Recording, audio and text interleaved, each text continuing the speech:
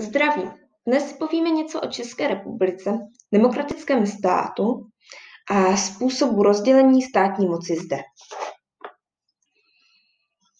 Co to znamená demokracie?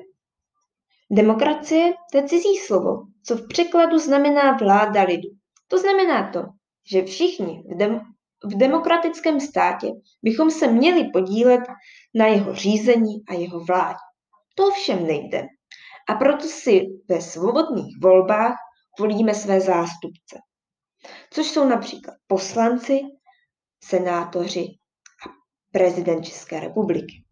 Takže demokracie v překladu znamená vláda lidu, to znamená to, že bychom se všichni měli podílet na vládě a řízení našeho státu. To všem nejde a proto si ve svobodných volbách volíme své zástupce. To jsou například poslanci, senátoři a prezident České republiky.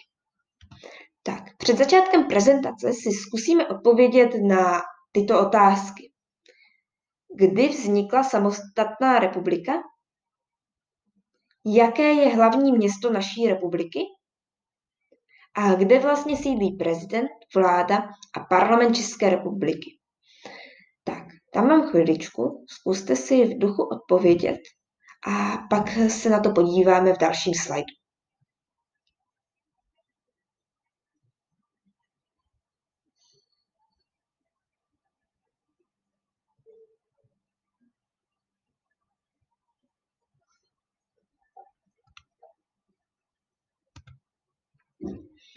Tak, Česká republika jako samostatný stát vznikla 1. ledna 1993 po rozdělení Československa. Vytvořily se tak dva samostatné státy, a to Česká republika a Slovenská republika.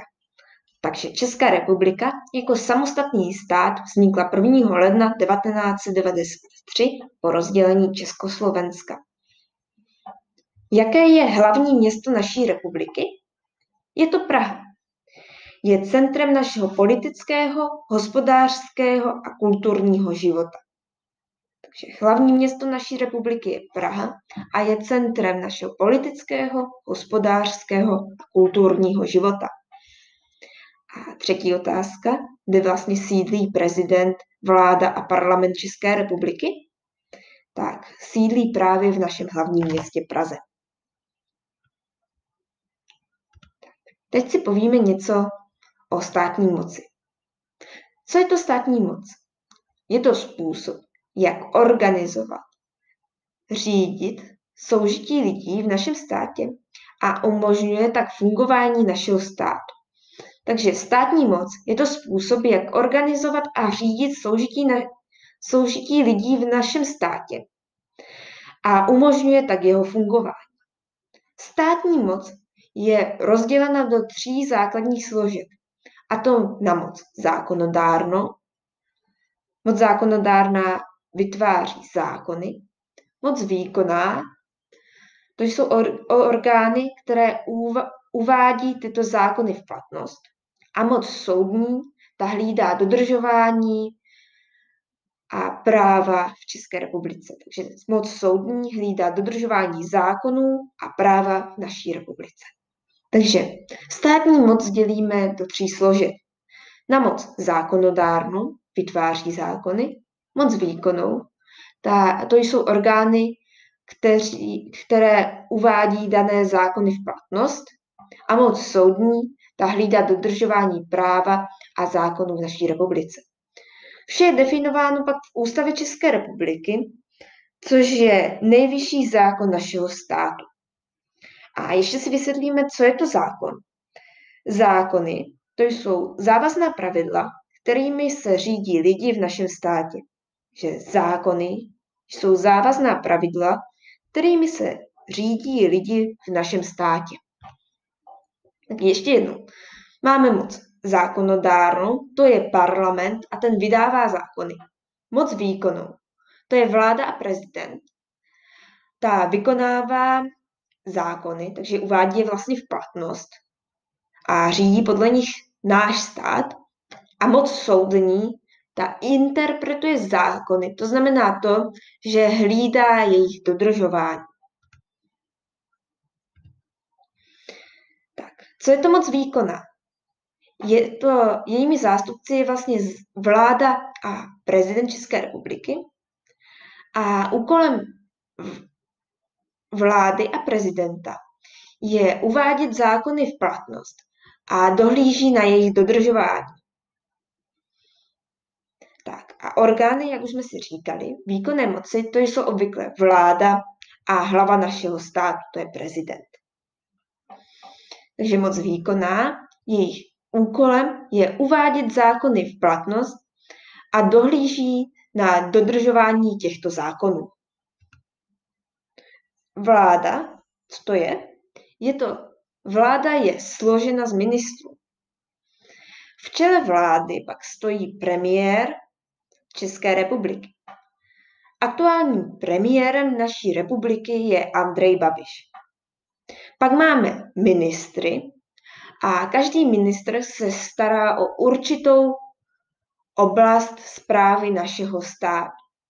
Takže každý ministr se stará o určitou oblast zprávy našeho státu a řídí tak určité ministerstvo.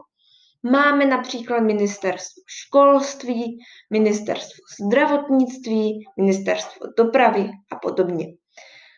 Takže každý ministr se stará o určitou oblast zprávy našeho státu, spravuje určitý rezort a řídí tak své ministerstvo.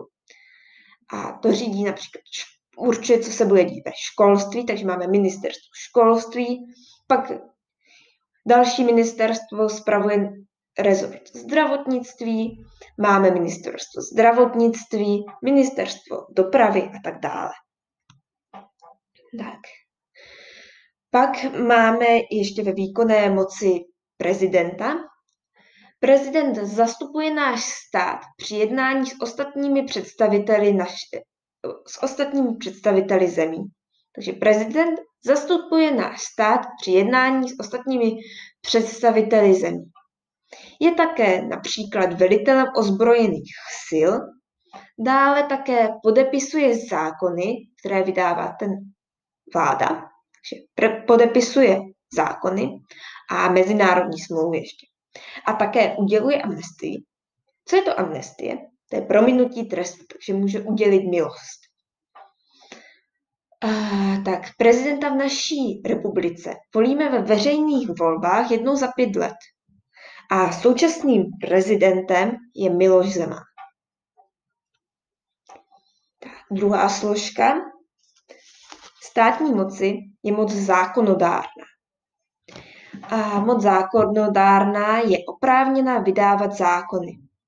Děje se tak u nás z parlamentu České republiky a ten parlament se skládá ze dvou částí, a to z poslanecké sněmovny a senátu. Takže poslanecká sněmovna přijímá návrhy zákonů a sama navrhuje zákony. Takže poslanecká sněmovna přijímá návrhy zákonů a sama navrhuje zákony.